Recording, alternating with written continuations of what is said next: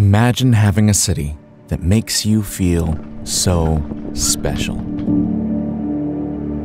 The fastest 5K ever under the lights of Turia Stadium. It's going to be a new world record in Valencia. Unbelievable. And what about that half marathon? The fastest the world has ever seen. Your name is forever intertwined with this city.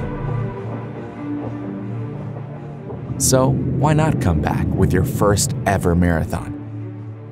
Welcome back, Letesenbet.